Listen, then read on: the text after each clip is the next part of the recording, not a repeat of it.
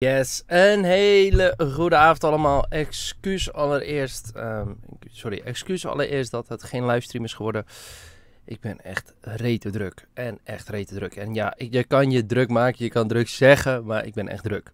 Ehm, ik ben uh, cursus aan het invoegen. Kijk, ik heb helemaal een lui oog. ik ben, uh, dat is als ik moe ben. Maar ik ben nu bezig met uh, de cursus aan het uitbreiden. Uh, de coaching calls. nou ja, zoals je weet, Bitcoin Magazine content, eigen content ben ik nu echt wel weer aan het maximaliseren. Gewoon elke dag één.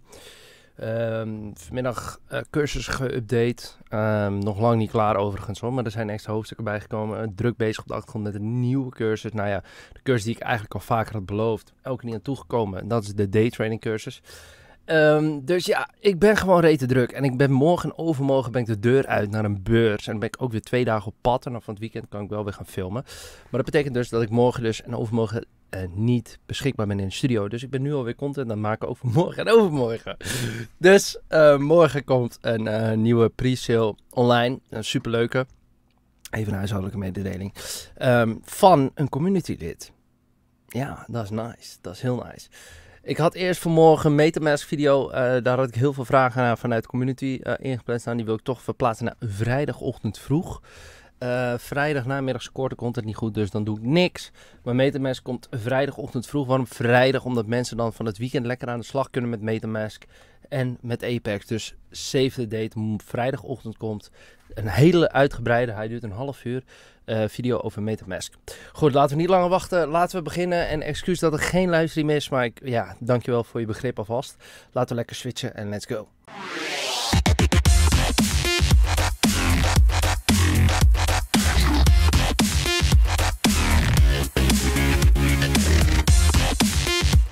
Goed, aangekomen. Natuurlijk hadden we gisteren uh, uh, ja, YouTube livestream gedaan. Uh, we hadden sowieso op dinsdag altijd, of op maandag en dinsdag altijd de, de community streams. We hadden nu even wat extra gedaan. dus ja, ik denk wel dat jullie wat begrippen voor de situatie. En alles is voor jullie ook uiteraard, hè, want de content die eruit gaat is allemaal om jullie te helpen. Dus laten we dat ook wel voorop stellen. Goed, ik wil jullie even meenemen in de Bitcoin correctie van vandaag. Deze correctie was redelijk goed voorspeld, moet ik eerlijk zeggen. Uh, maar ik kijk nog wel steeds naar deze WXI. Dat uh, zolang Bitcoin niet zijn low meer verliest van 67,600, verwacht ik dat hij hier misschien toch op deze manier omhoog kan klimmen.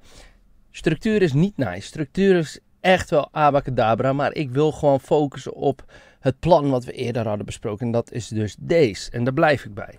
Goed, dat wil dus wel zeggen, vooral omdat je nu die trendlijn, en dan zoom ik hem even helemaal goed in, nu die trendlijn hebt geretest, je ziet het exact op de wick. Ja, zijn mensen daar aan het sell of short gegaan.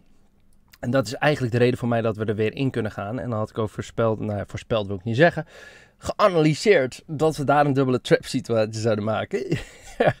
dus ik zoek nog steeds wel naar die uh, 76.000. Maar moet wel echt deze low houden. En zoom even in naar de one hour. Deze low moet houden. Zolang die dus boven de 67.500 is, was deze dump een trap, een CPI-data trap. En gaan we bullishness krijgen. En dat is de reden waarom we nu ook in de FIP deze long hebben genomen. Uh, zoals je hier staat. We hebben, uh, nou hier staat hij. We waren uit de eerste long waren we. Van vanmiddag waren we uitgestopt. Ben ik ook open en transparant in. Risico is maar 0,5 ook. Maar nu staan we alweer dik in de profit. Alweer die verlies terug. En ja, dit delen we dus in de VIP. Dus hier hebben we prachtige entry genomen. En de scalp swing staat dus nu ook op SL op break-even. Um, ja, en ook in de, in de training chat is dus doorgecommuniceerd de Metamask video, want er werd heel veel over gevraagd in de community. Nou, jullie vragen, ik draai, dus dat is ook wel belangrijk om te laten zien. Um, maar goed, ja, ik treed dus lekker op Apex. Zoals je hier ook ziet, open transparant ben ik hierin. Ik heb de short hier, het stoploss break-even. Ik heb ook een beerplan, zoals je hem hier ziet. Die had ik vanochtend uitgetekend. Uh, dat hij hier down gaat. En daarop wil ik dus ook doorbouwen. Van dit is wel de boelplan, maar dat is echt zolang die 67.600 houdt. Want als er een beerplan is, ja, dan gaat hij vanaf hier gewoon knijter hard corrigeren. Knijterhard. En dat is als dus letterlijk 67.600 verliest, gaat die knijter hard corrigeren. Want wat we dan hebben is een hele agressieve ABC. Op die manier die misschien zelfs naar de low 60.000 of zo lager kan, omdat het misschien zelfs een impuls gaat worden. Het kan dus zo zijn dat een ABC is, dan gaat hij tot, tot de 66.000 gapfill en dan alsnog pre-halving pump. Maar het kan ook zomaar zijn dat dit al de correctie is. En dat je dan nu in een 1, 2, 3, 4, 5 vrije val zit. En dat je dus, en dat is voor de Elite Wave misschien ga ik heel even te snel, maar dit is al je regular flat is. Op de 90% gekomen, regular flat is dus mogelijk vanaf hier. Maar nogmaals, deze bear case gaat echt alleen in als 67.600 verliest. Dus dan is de eerste waarschuwing. Tweede waarschuwing is uh, 65.800 verlies. Dan, dan gaat dit gewoon in en kijk gewoon bearish. Dat wil ik benadrukken. We hebben altijd te maken met invalidatielevels. Dus mijn invalidatielevel is dan ook die laatste lokale low. En dan kijken we bearish. Dus dan zoek ik eigenlijk alleen nog maar naar shorts.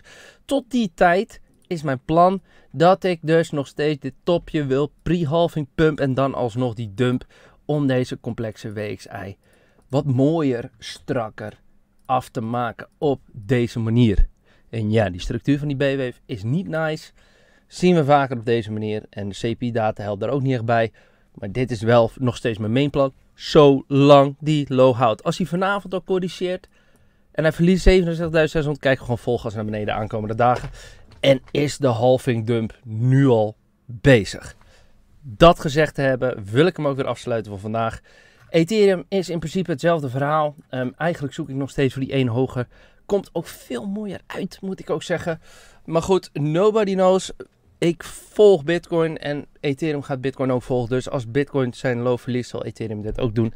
En is Ethereum dus nu al bearish, en dan zoom ik hem heel even uit. Is dit je B-wave en dan zit je in die gigantische sell-off naar de 2700 dollar. Alright, dankjewel weer voor het intunen. Het beste voor het beste. En ik wens jou een prachtige avond. Ik ga nog heel eventjes drie video's opnemen vanavond. Daarom red ik het nu ook niet. In ieder geval, dankjewel voor het intunen. Hou mijn YouTube kanaal in de gaten. Druk zeker even de abonneerknop, belletje aan. Want er komt heel veel leuke en interessante content aan. Ook al zegt de titel misschien iets niet aansprekend. Geloof me, elk stukje content voorziet altijd weer nieuwe extra informatie. Dus neem dit kanaal gewoon bloedserieus. Deel dit kanaal, godverdomme. Want we moeten gewoon alles even goed helder in het daglicht brengen bij iedereen. Iedereen moet gewoon hiervan weten. En ik hoop dat iedereen ook extra informatie voorziet en krijgt wat hij daarmee kan doen. Om beter te worden, de markt beter te leren begrijpen. Maar ook om geen fouten te maken. Want ook in de Metamask video bijvoorbeeld geef ik een aantal tips en tricks hoe je transactiekosten kan verlagen. Maar ook waar je op moet letten om bijvoorbeeld niet gehackt te worden of iets dergelijks. Tips en tricks. Alright, genoeg voor vandaag. Druk de abonneerknop, smash die duimpjes. Dankjewel. Bye bye.